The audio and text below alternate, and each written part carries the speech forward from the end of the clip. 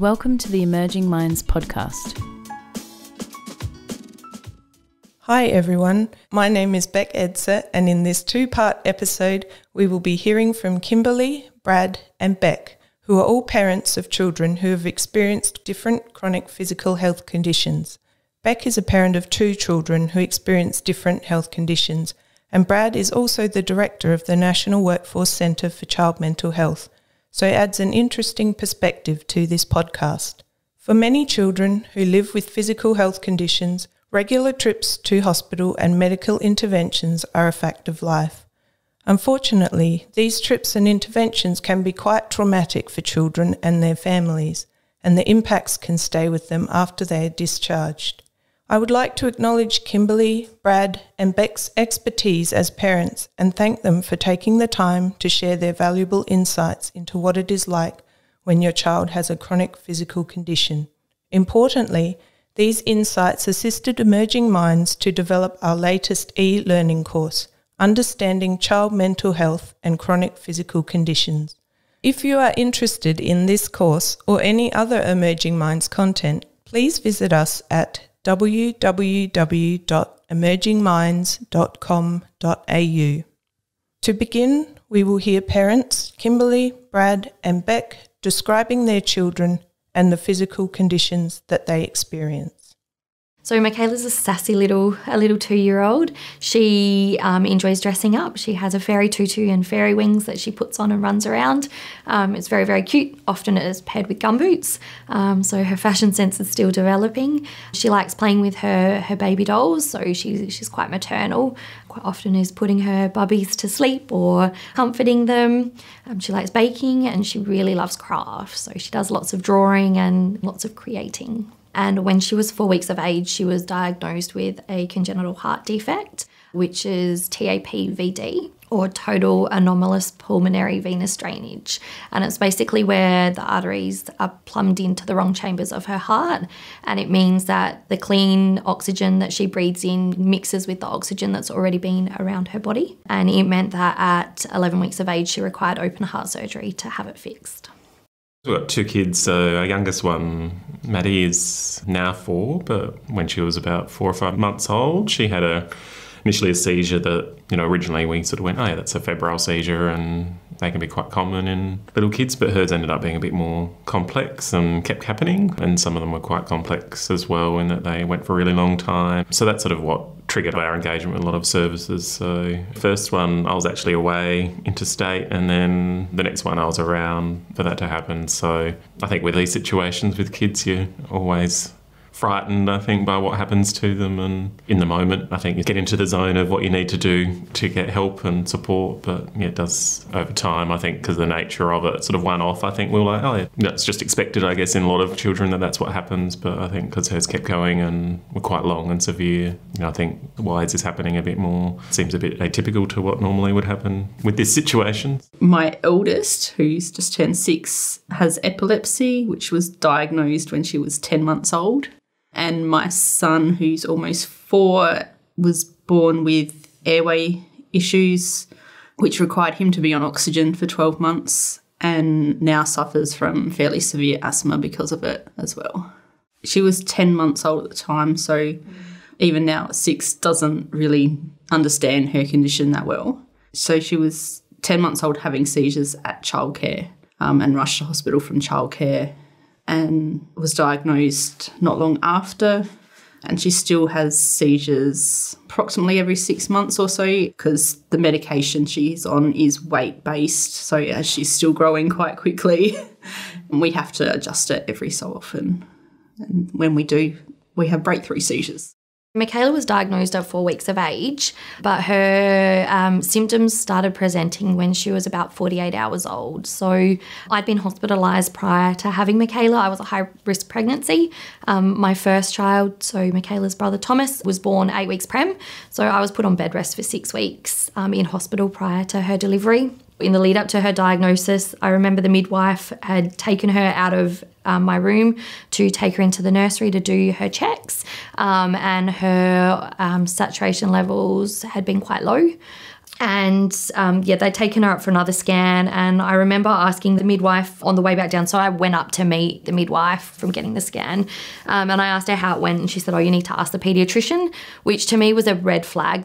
He was born with tracheobronchial malacia, which is narrowing of the airways. Oxygen helped him for the first 12 months until his airways grew stronger. And now he has fairly severe asthma, which takes two or three different medications to help um, in some way. But he still gets his symptoms when he runs around and plays outside and does everything that a normal four year old does.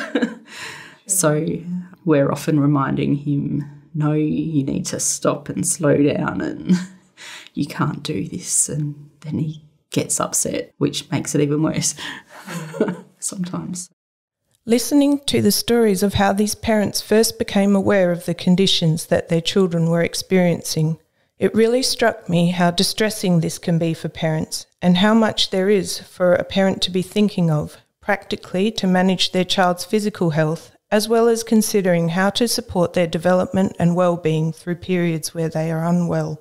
We will now hear Brad, Bec, and Kimberley talk about what it can be like for a parent and child experiencing symptoms and undergoing treatment or medical procedures.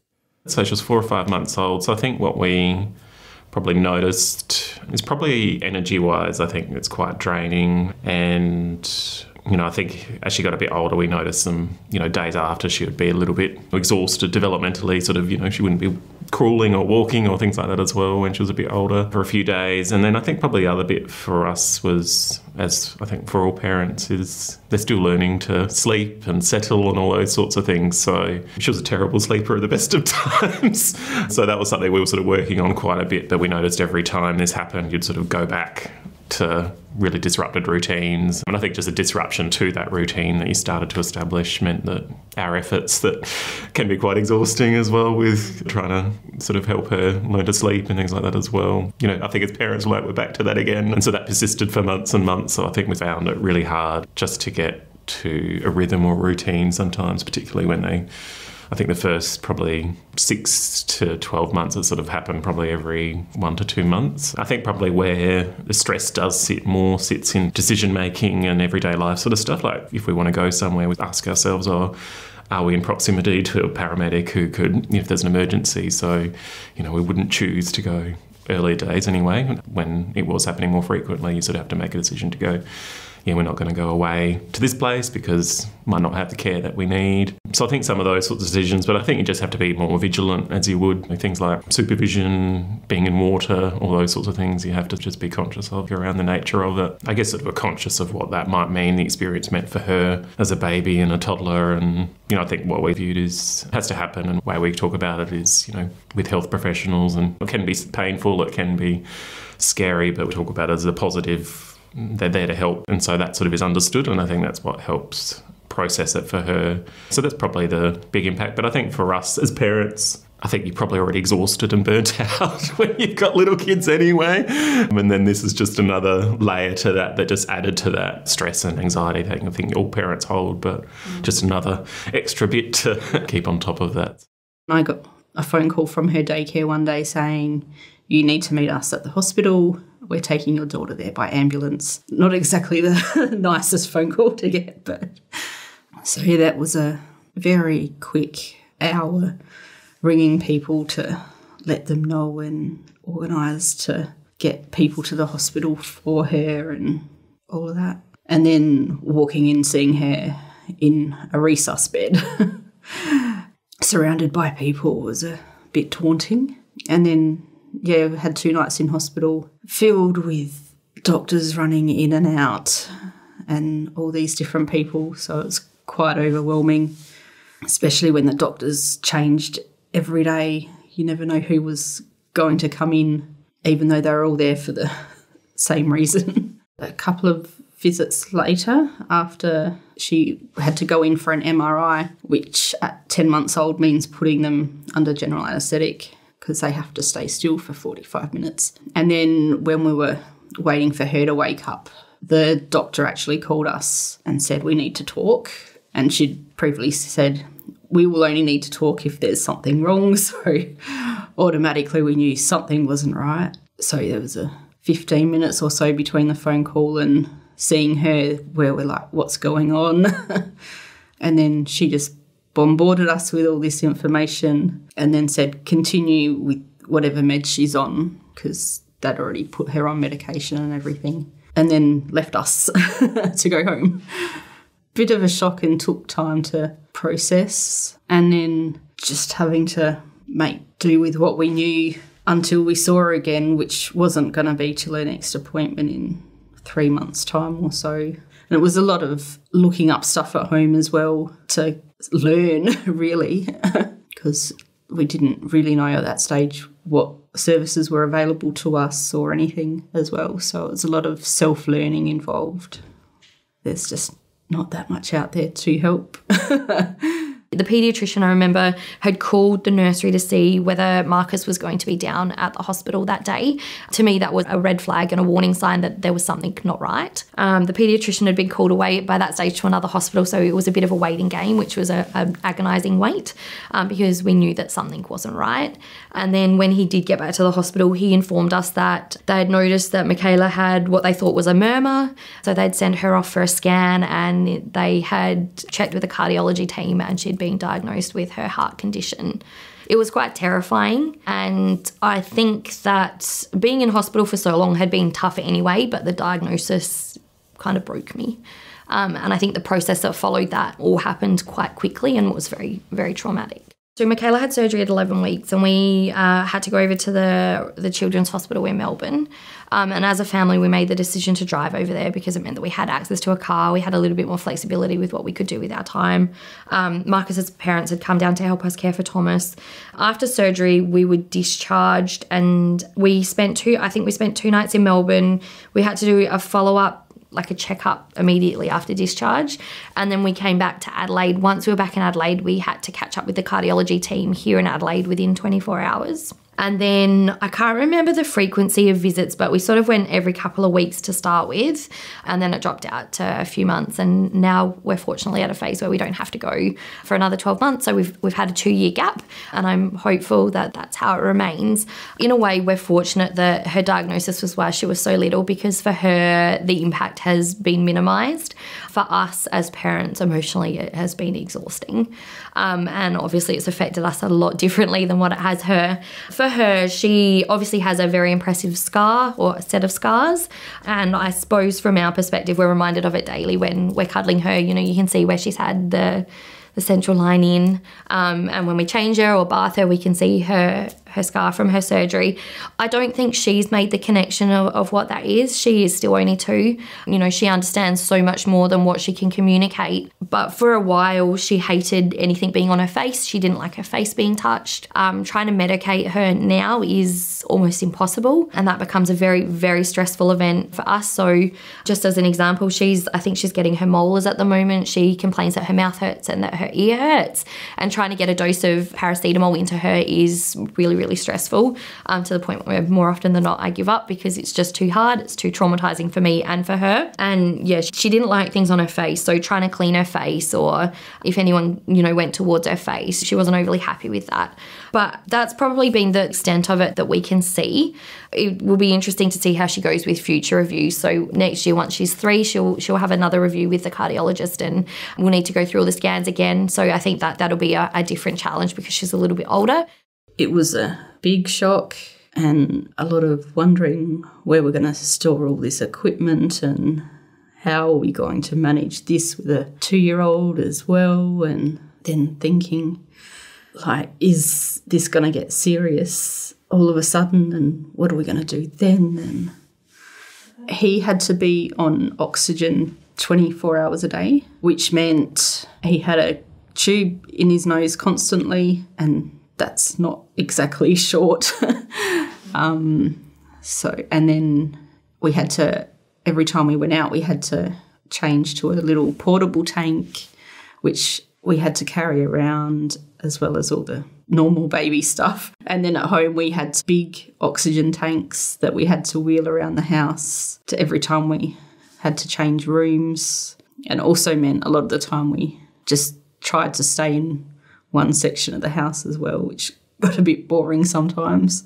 And just trying to adjust to having all this big equipment in the house and trying to work out where we had to store three or four oxygen tanks at a time. Because being 24 7 at that stage that we went through a lot and they prefer not to come out that often. So we had up to a month's supply of oxygen sitting around our house as well trying to keep a two year old away from all this interesting stuff as well.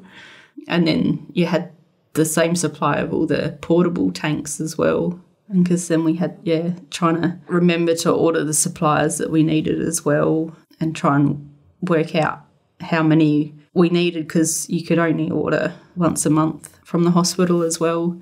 So in the start sometimes we ran out earlier and had to beg them to give us more because we didn't know that he would get a cold and needed extra tube changes and everything and as well so the mental overload and physical exhaustion described by Brad, Kimberley, and Bec really emphasised to me the significant impacts that families experience from the necessary constant provision of both illness related care and emotional support to their child. Parents Bec, Brad, and Kimberley all highlight the importance of taking care of their own well-being while they are caring for a child with a chronic physical condition. I'd been in the hospital with him for probably seven days at that stage. And that was the longest I'd been away from my daughter as well. But like as a mum, yeah, you don't want to leave your son either. So yeah, sometimes you, they just need to push really, especially mothers. we all know that they put everything last for themselves. So I think sometimes people just need to push the mothers more and force them really to do things for themselves. The nurses in the baby ward, they were really good. Um, and there was some more than others that really actually pushed the self care of the parents as well. And at one stage, told me to go home, like literally shoved me out the door. She's like, no, you need time for yourself. And then in the respiratory area, their main nurse was really good as well, and she actually um, pointed us in direction of a few more services that could help, and was all over Centrelink help and like the helpful things. but yeah, then some of the doctors again were think they know it all and are a bit more dismissive of everything and try and rush you in and out we do want to just do all the other things that are important for us as well. So I think that's where it was really important, I think, for kids as well, not to. I think we sort of view in the moment, that's sort of when it happens, but then we go back to life as normal and in that sort of context. And as I said, in the early childhood, that's sort of pretty tricky anyway, because your routines change and everything changes so quickly anyway. So I think for us, that was sort of probably the hardest part was just the exhaustion that this all creates. As a parent, you feel drained, I think, probably at the best of times, but then these sorts of things just add that emotional layer of stress that I guess sort of takes away the energy you want to have as a parent for quite some time. And I think that was probably the bit we grieve a bit, probably more than anything from this whole process is we knew what we wanted to be as parents, and when this wasn't happening, that's what we could. But it did just chip away at little bits of energy that sort of over time meant that you burnt out quite a lot more than you normally would be, I think, with this stuff. Um, it's something I think we struggled with a bit, and I think I hear from a lot of parents as well who have children with health challenges or disabilities, just what I call pretty much parental burnout, I think, which is, you know, that idea of parents being burnt out at the best of times, a lot of the time, without necessarily having lots and lots of social networks and supports. You know, I think a lot of parents I speak to sort of say the practical help and things like that as well that we don't tend to have access to as much today because, you know, our parents are working, all those sorts of things as well. So I think that's something that a lot of parents hold, just that sheer exhaustion. I think that sometimes is something that would be probably good to label for parents or be, you know, just say probably exhausted and and just actually acknowledge that is helpful. And I think, particularly in the context of other sort of expectations that are on parents as well, it's just one of those things of it's helpful for people to, I guess, know that that sort of how do we help is to alleviate, I guess, some of that burnout and practical help that I think would be often the most useful thing of, you know, I think what a lot of parents need you know, help manage the stress. I think a lot of people can sometimes offer emotional support, but not practical support, or the other way around. There doesn't seem to be a good balance, and it's hard as parents in the middle of it to ask for help from anyone around them as well. Like I think that's something we don't have a tendency to, you know, go, we just need help. So for some of those natural supports that exist, is rather than asking what can I do to help, sometimes that's helpful, but sometimes it's just helping and doing help. Because when you ask, what can I do to help? You sort of, I don't know, because we just have to manage it on our own anyway. like, um, it's sort of hard to label what's helpful. So sometimes it is just finding things that people can do practically that wrap around the family a bit more proactively without necessarily asking. Sometimes it's quite helpful too.